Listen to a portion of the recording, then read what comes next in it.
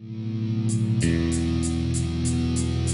playing game, Cold Rush 2K14. Let's go.